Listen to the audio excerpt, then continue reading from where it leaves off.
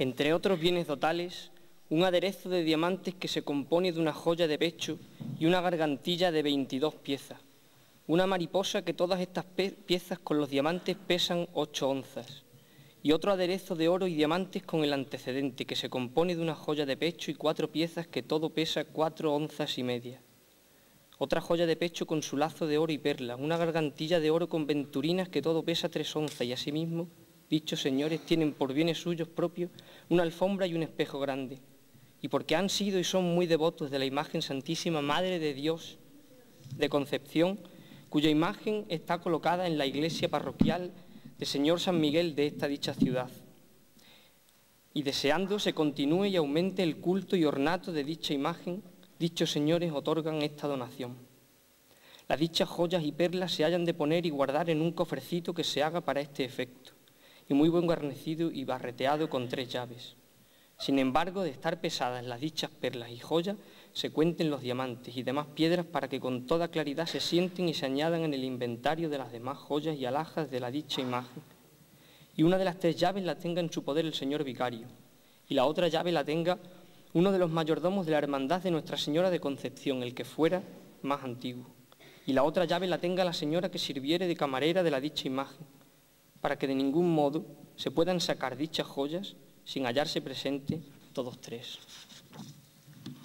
Ilustrísima señora alcaldesa del excelentísimo ayuntamiento de la muy noble y muy leal ciudad de Jerez de los Caballeros, excelentísimo señor delegado episcopal, autoridades civiles y eclesiásticas, hermanos mayores de las cofradías de penitencia y gloria, mayordomos y juntas de gobierno, cofrades, jerezanos, hermanos en Cristo todos.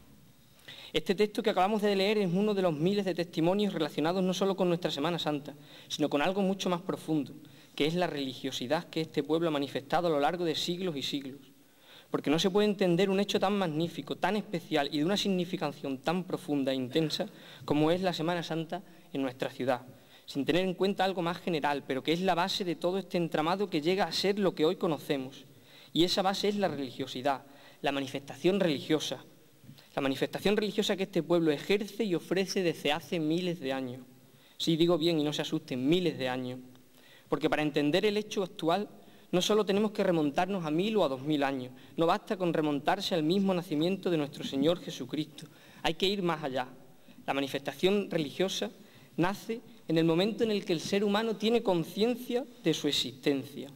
Y siendo más preciso, realmente la manifestación religiosa nace cuando el ser humano tiene conciencia de su ausencia, la falta del ser querido, la incógnita del que vendrá después, la falta del control, la ignorancia del posible futuro, el desconocimiento del ser o no ser, pero sobre todo el miedo. El miedo y la falta de respuesta ante un devenir que no se puede controlar. Esas dos circunstancias, para mi entender, sobre todo el miedo, marca el comienzo de la manifestación religiosa entendida esta como un comportamiento inherente al ser humano y necesaria en fases tempranas de su desarrollo cultural, para ofrecer un asidero, una explicación, normalmente dogmática y poco racional, un punto de apoyo y sujeción. Preguntas tan triviales, tan banales, pero de tan difícil respuesta como qué hay después de la muerte. De esta forma, en nuestra ciudad encontramos vestigios de esta religiosidad primitiva en innumerables lugares desde la prehistoria, no en vano en el término está repleto, está repleto de dólmenes y otros monumentos funerarios. Sirva de ejemplo los restos de la pizarrilla, la mata, el cobaza, el cavado, sobresaliendo por encima de todos con importancia propia el dolmen de la granja del Toruñuelo, monumento nacional. Encontramos en este monumento probablemente la manifestación religiosa más antigua de nuestros orígenes, pues ya fue localizado en la entrada de este dolmen un pequeño ídolo, Nace aquí el respeto a los muertos, el culto al más allá, pero no como el simple hecho de enterrar o incinerar al difunto por respeto, tradición o miedo, sino que comienza el respeto, el culto y lo que es peor, el miedo al ídolo. Comienza la idolatría y con ella la subversión ante el poderoso, al, todopoderoso que se encuentra en el más allá para juzgar en el más allá la vida terrenal. Qué paradoja. El hecho religioso trasciende, va más allá del simple hecho de enterrar, sepultar o quemar un cadáver, se convierte en parte común de la vida diaria, se convierte en una necesidad de la vida común, entendiendo por común no solo lo general, sino lo particular de la vida diaria. Se asume la religión como parte de la vida pública y privada del ser, se entierran e incineran a los muertos, pero se va al templo a orar y a depositar votos. Así como se tienen dioses a los que rendir culto, culto público y privado, adoración pública en el templo, pero adoración privada en la casa. Se preguntarán ustedes, ¿qué tiene que ver esto con la Semana Santa? Y yo les digo mucho. Tiene mucho que ver porque para entender lo que nos rodea, para entender lo que nos es conocido o estamos acostumbrados a ver, es necesario hundirse en el pasado, es necesario conocer la historia, el devenir que nos ha llevado hasta este momento. Nada está ahí por casualidad, todo tiene una explicación, nada surge porque sí, todo tiene una intención. Y no me digan que no es excitante, que no es emocionante hacerse esa pregunta tan repetida. ¿Por qué? ¿Por qué esa imagen? ¿Por qué esta iglesia? ¿Por qué el órgano? ¿Por qué la religiosidad? ¿De dónde nace? ¿Qué nos mueve? Esa es mi intención aquí. Intentar llevarles por el viaje del porqué, intentar caminar por el recorrido que nos ha llevado a estar hoy aquí, intentar dar a conocer aquello que está oculto o escondido, aquello que la memoria o la falta de memoria ha hecho que desaparezca o quede en el fondo de un baúl, o mejor dicho, en el fondo de un estante. Quiero ser crítico, pero también dar mi visión, buscando una reflexión. En definitiva, quiero poner mi voz al servicio de sus oídos intentando captar su atención, pues eso es pregonar. Parte primera, el origen de la religiosidad. En alguna ocasión hemos dicho que la historia es el vehículo para aprender del pasado, para conocer el pasado, pero no por miedo de repetirlo, como dice la máxima popular absurda. Hay que conocer el pasado por el gusto y el disfrute de saber que somos lo que somos gracias al devenir histórico y a todos los que participaron en ese viaje. Pero ¿por dónde comenzar? Sin lugar a dudas, el testimonio más antiguo de sentir cristiano en nuestra ciudad es la consagración de un templo a la Madre de Dios, a la divinidad, Madre de la Divinidad Suprema, el día de Navidad del año 556. Ya vemos desde los primeros instantes un sentir mariano, una devoción mariana, un guiño hacia la Madre de Dios. Pero al margen de este hecho puntual, hoy exponemos aquí, por primera vez, las dos manifestaciones religiosas más antiguas de nuestra ciudad como no podía ser de otra forma, se trata de las dos primeras cofradías de las que hemos tenido constancia. Para conocer nuestra Semana Santa es preciso conocer la historia de nuestras hermandades y cofradías, ya que ambas están íntimamente relacionadas. No es posible concebir nuestra Semana Santa tal y como la conocemos sin la presencia histórica, social, artística y religiosa de las cofradías, las que permanecen, las que son y las que fueron, las que existen y las que dejaron de existir. Es más, el propio hecho religioso, la manifestación del hecho religioso, la propia religiosidad no se entiende en nuestra ciudad sin la participación de las hermandades y cofradías. Ellas han sido y siguen siendo el hilo conductor, la manera de transmisión. La cofradía más antigua que hemos atestiguado, y como no podía ser de otra forma, era la dedicada al patrón de la ciudad, sí, la cofradía de San Bartolomé. Y atención al dato, año 1357.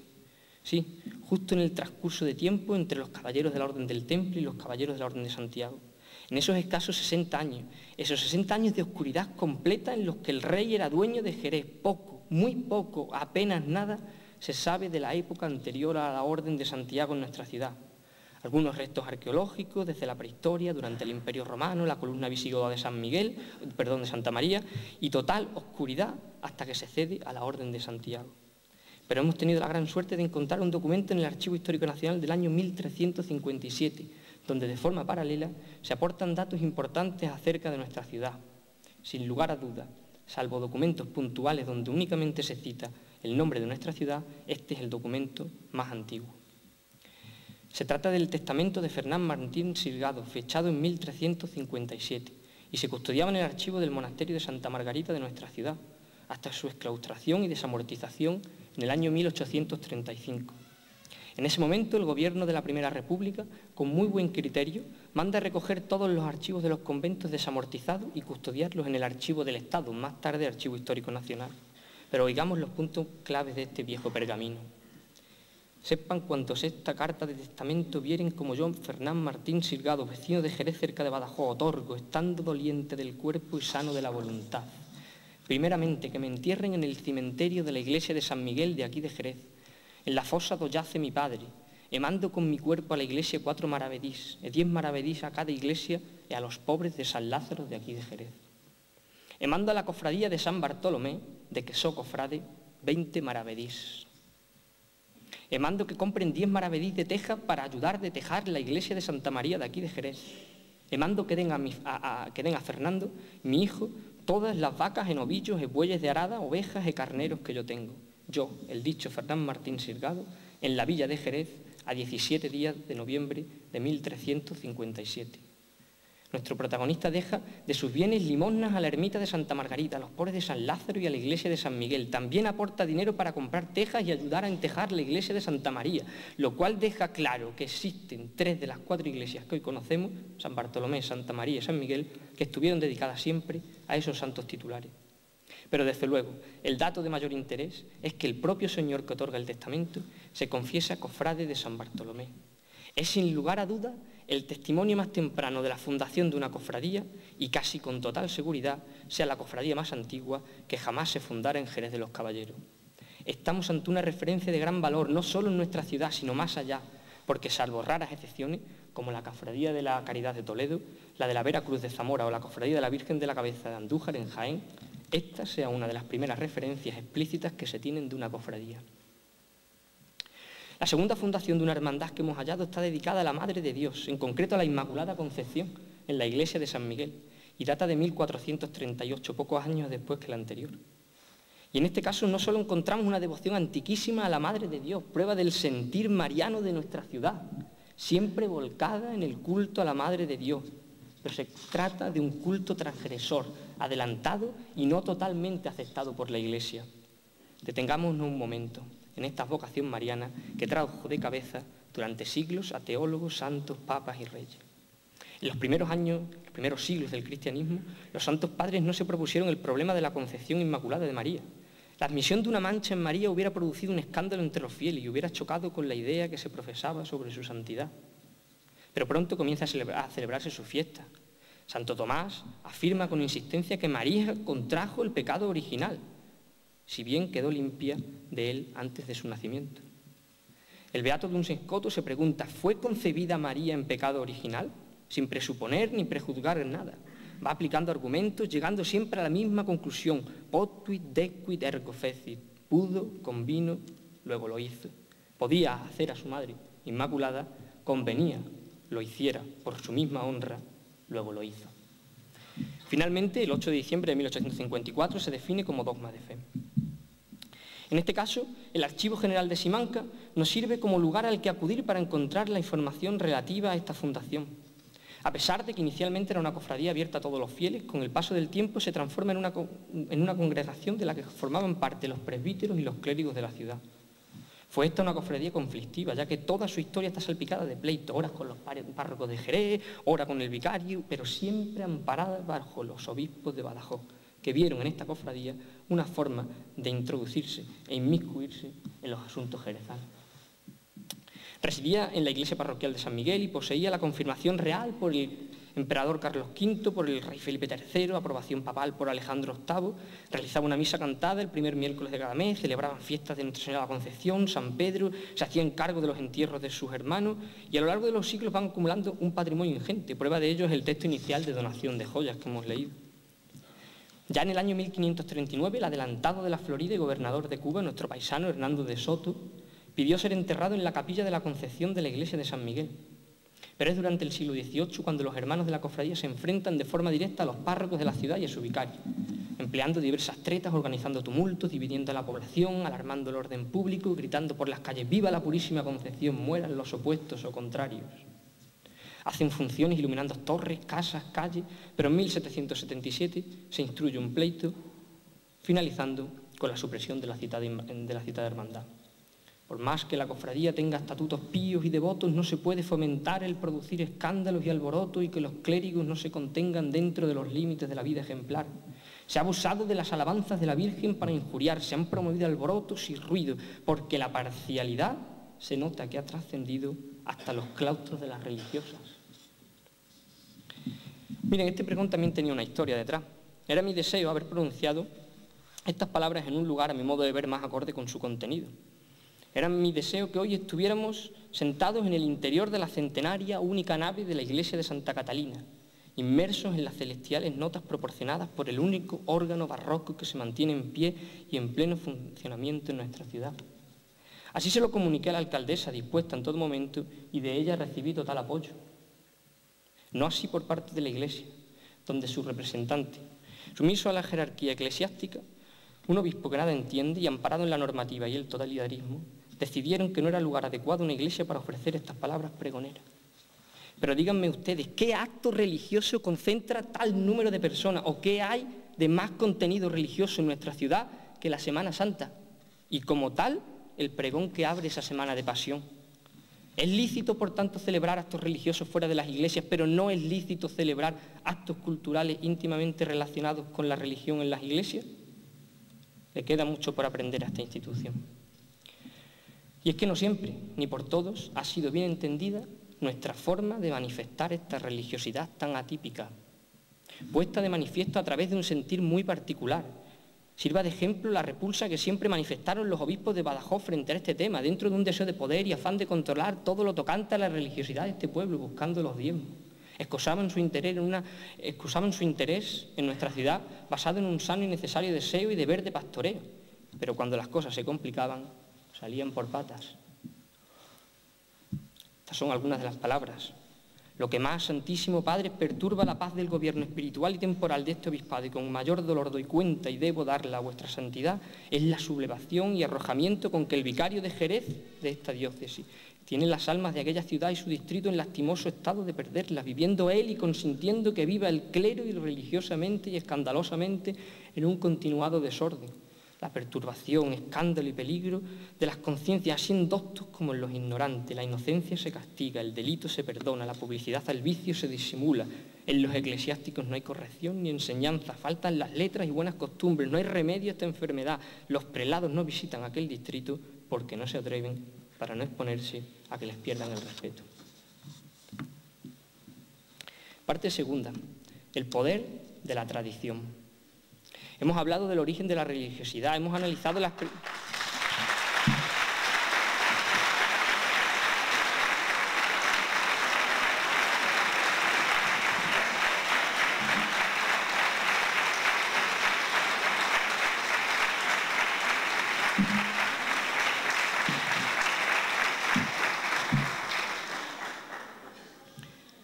Hemos hablado del origen de la religiosidad, hemos analizado las primeras manifestaciones religiosas asociadas a las primeras cofradías que se fundan en Jerez, pero cabría ahora preguntarse cuál es la importancia de las hermandades y cofradías.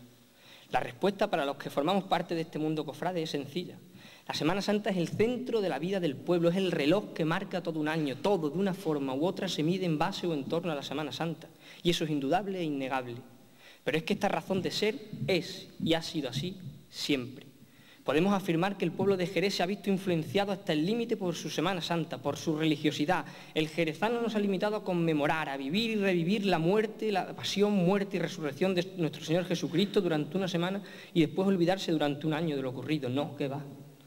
El jerezano no vivía o no vive la Semana Santa durante una semana. El jerezano llevaba, lleva la Semana Santa en su vida diaria durante todo el año. La vida en Jerez gira y ha girado siempre en torno a la Semana Santa. Era parte de la vida diaria. Es un todo que no puede separarse. Da igual la fecha del año, no importa qué estación, si era verano, otoño, invierno. Fíjense, en pleno mes de febrero, de un febrero cualquiera, da igual de qué año, no importa de qué época, de qué siglo. Un ejemplo que demuestra que esto siempre ha sido así. Siempre. Libro de cuentas de la fábrica de la iglesia de San Bartolomé, folio 179, tortas de Candelaria. Doce fanegas de trigo que se han gastado en las tortas de pan masado que en el día de la purificación de Nuestra Señora acostumbran repartirse entre los ministros de la iglesia y diferentes personas afectas, que suelen contribuir con sus limonas a beneficio de la misma. Se incluye el que se ha gastado en hacer almidón para planchar la ropa de la iglesia. Los más jóvenes no hemos conocido esta tradición, otra de las muchas tradiciones perdidas y que deberían recuperarse, sí, son las tortas de Candelaria. Cada 2, de, febrero se realizaban, se hacían y se repartían.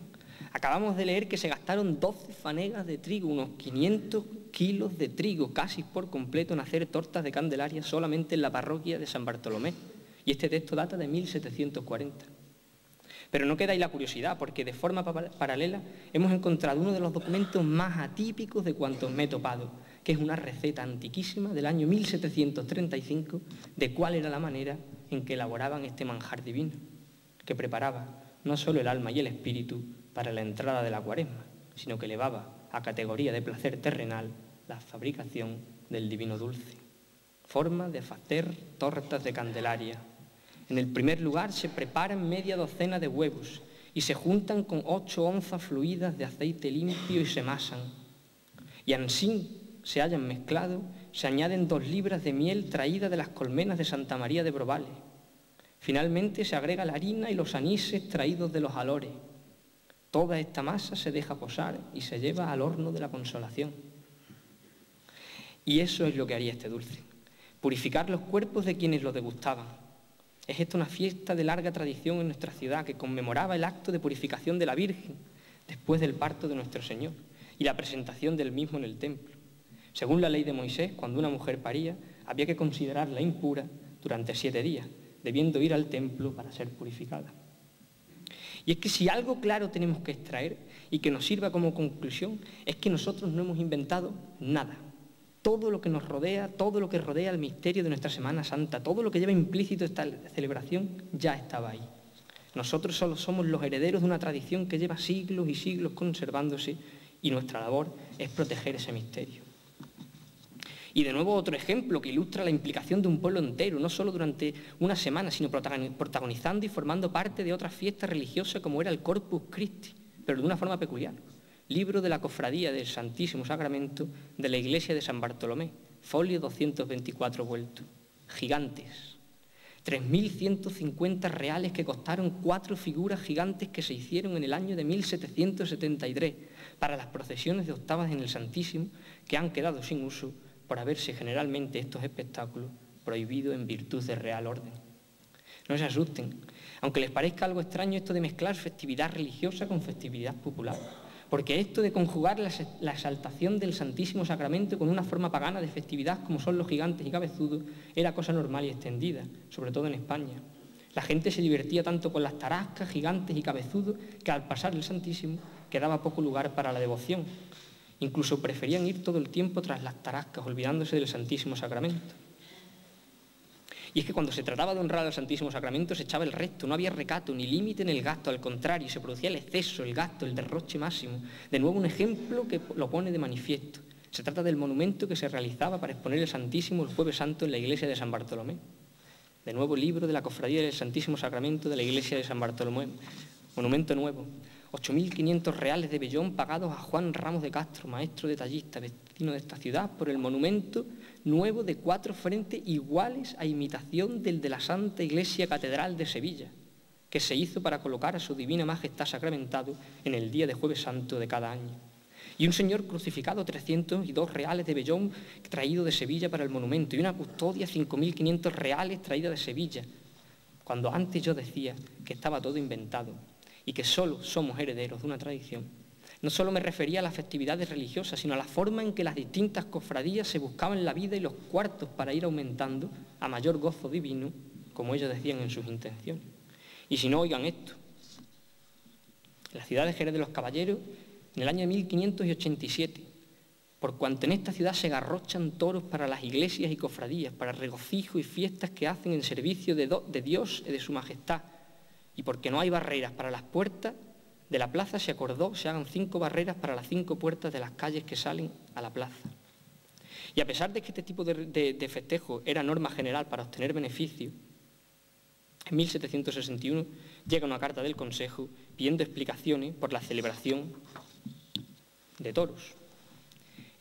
La ciudad contesta, esta ciudad no tuvo mezcla alguna en dicha fiesta de toros porque a la ciudad no se le pidió licencia para semejante función, ni concurrió a ella. Los festejos se hicieron en una plaza que dicen de la fortaleza, que está en el castillo, la que para hacer toro hicieron los mayordomos de cierta cofradía.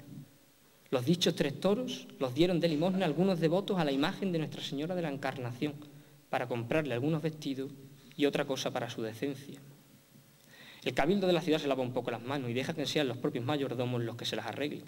Pero aprendieron los hermanos de la cofradía de Jesús porque en el año 1815 vuelven a estar faltos de dinero, pero esta vez sí que piden las correspondientes licencias. Muy noble ayuntamiento, Francisco Javier Barneto, mayordomo tesorero de la cofradía de nuestro Padre Jesús Nazareno y demás cofradías unidas. Con el más debido respeto digo que necesitando dichas cofradías hacer un Señor resucitado nuevo, retocar el Señor del Calvario, proporcionar ropas decentes para la cama de la urna, hacer una túnica de trono para nuestro Padre Jesús y algunos otros gastos que son indispensables para el culto divino.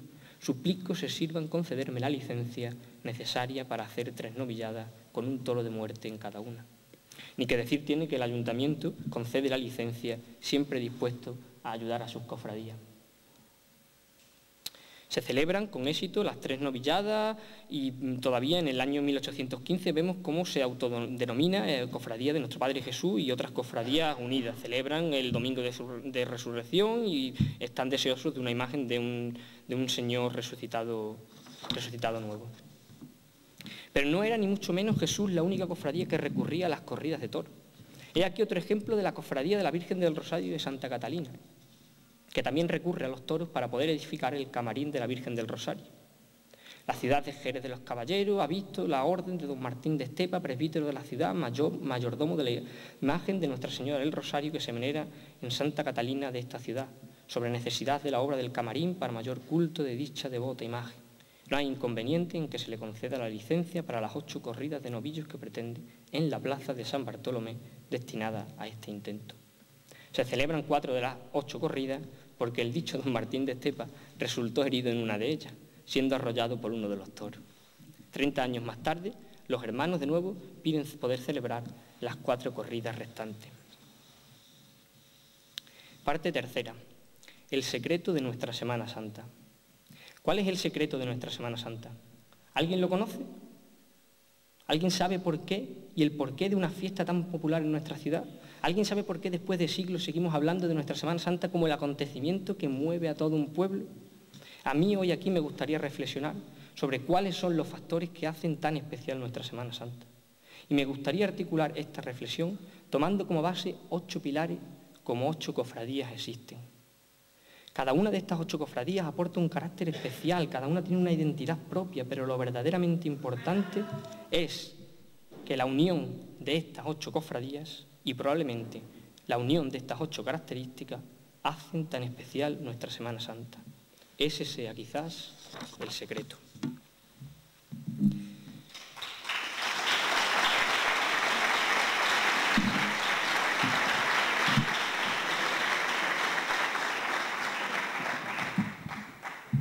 Primero, penitencia. Hilos de esparto que rodean tu cuerpo, esparto hecho del serón vasto que anuda y prende tu piel, cuerpo segado por el nudo, un nudo que aprisiona, ahoga y casi asfixia. Lleváis al extremo la palabra penitencia porque penitencia es lo que os define. Corona de espinas, espinas que rozan, espinas que son el reflejo del mayor dolor, espadas en las espaldas, unas espadas que se cruzan en señal de duelo, un dolor que se atisba a través del velo que os cubre, un dolor que aceptáis y promovéis. Tú, Cristo de la Veracruz, de la verdadera cruz, eres un misterio en ti mismo, tú que recorres las calles de Jerez sin rumbo fijo, cambias tu ir y venir para llegar a todos. Te quitaron de tu lugar original, te escondieron donde nadie podía verte, te encerraron en la fría sacristía y como un milagro casi entre paños te rescataron de las humedades y te devolvieron a la vida. Cuatro fuegos te guardan, cuatro fuegos son los que te anuncian, Da igual Morería, Lóndiga o Toledillo, no importa si calle de Torres o Don Sancho, ¿qué más da San Agustín o la Gracia? Tú eres don divino porque divinas fueron las manos que te hicieron.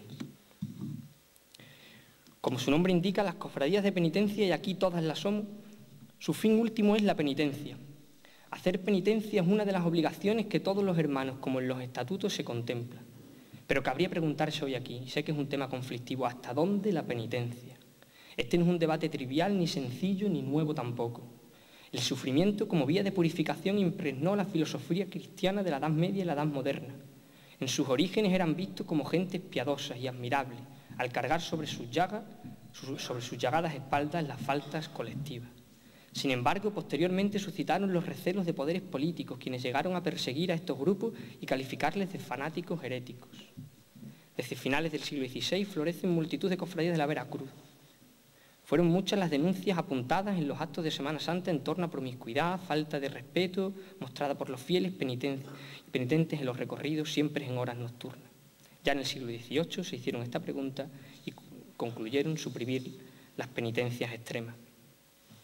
Y para muestra nuestra ciudad, nuestra ciudad, existía una cofradía antiquísima llamada de la Caridad, a la que ya hemos hecho alusión en alguna ocasión, que llevaba como titular al Señor amarrado a la columna, con el privilegio de hacer estación de penitencia con la Inmaculada de San Miguel. Esas curiosidades de nuestra Semana Santa, una Virgen de Gloria procesionando un Jueves Santo con un Señor de Pasión. Y esta cofradía, en su estación de penitencia el Jueves Santo, llevaba un grupo de penitentes que se azotaban y se flagelaban, de ahí su imagen titular. ¿Es por tanto necesario recurrir a esta forma ancestral y lógica y primitiva de penitencia? Yo creo que no. Pero para ayudarnos a reflexionar sobre este tema, quédense con las palabras que aparecen en la Biblia. Podríamos citar a varios profetas del Antiguo Testamento, incluso a los Gálatas o a San Pablo, pero oigan lo que aparece en la epístola de los Hebreos. Pero Cristo, habiendo ofrecido una vez para siempre un solo sacrificio por los pecados, se ha sentado a la diestra de Dios, porque con una sola ofrenda hizo perfectos para siempre a los santificados, y nunca más me acordaré de sus pecados ni transgresiones. Segundo, tradición. Los faroles se encienden a tu paso, caminas de noche, llevas en tu nombre el dolor, pero no cualquier dolor. El dolor hecho carne, el dolor en el límite, porque no eres solo dolorosa, tu dolor trasciende porque es lágrima y lamento, tu dolor pincha y rasga, tu dolor desfigura y transfigura, esa mirada rota de dolor y desconsuelo, tu piel henchida en un baño de lágrimas. Tú soportas la vara y la corona, tú, madre de la amargura, tu dolor no tiene cura porque te preceden flagelo y espinas.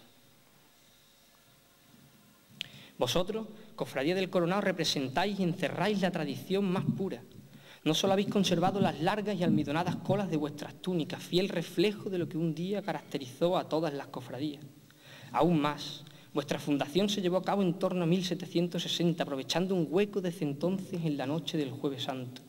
Comenzasteis haciendo penitencia con las imágenes del Señor coronado de espina y la recién llegada por entonces Virgen de los Desamparados algunos conflictos iniciales con las cofradías de San Miguel y posteriormente un terremoto hicieron que cambiarais vuestra morada a la ermita de los mártires, donde un barrio entero os acogió deseosos. Y desde entonces nadie puede imaginarse otro lugar para vosotros que no sea esa gótica ermita. Pero reflexionemos de nuevo, ahora sobre la tradición. ¿Importa la tradición en nuestra Semana Santa? ¿Hay que conservarla a toda costa? Conservar la tradición implica renunciar a algo. A mi modo de ver, la tradición es hoy el principal componente que mueve nuestra Semana Santa. Y es por ello que debemos conservar aquello que nos ha sido entregado. De ahí la importancia de conocer nuestra historia. Pongamos cuidado al incorporar cuestiones modernas y tratemos de no desvirtuar el sentido original.